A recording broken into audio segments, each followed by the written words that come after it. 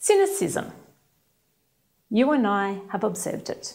It's the employee at work that's disillusioned, defensive, rolling their eyes and talking down new ideas in meetings. This is what employee cynicism looks like. And we've heard the phrase, a rotten apple spoils the barrel. Well, cynicism is our rotten apple. It is contagious and it can be spread through corridor conversations. Statistics show over 50% of the workforce has signs of cynicism.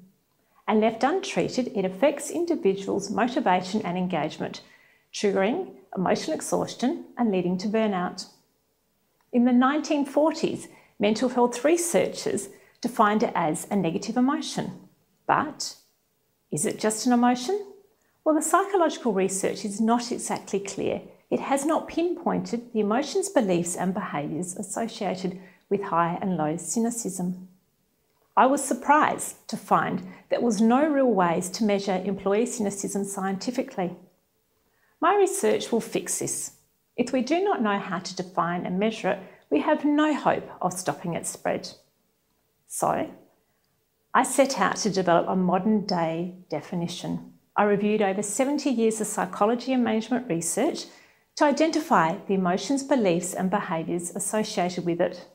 To then test this definition, I interviewed and surveyed over 100 people from different workplaces.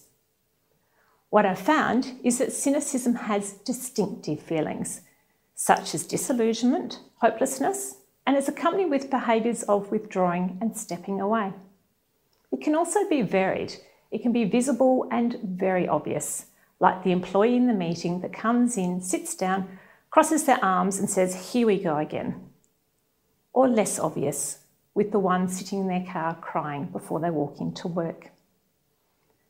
My research found that cynicism is contagious. It does spread through our social networks and it converts even hopeful employees into questioning others and the organisation. If our workplaces don't measure it, we have no hope of managing its effects, symptoms, and signs. And like any disease, it will then spread.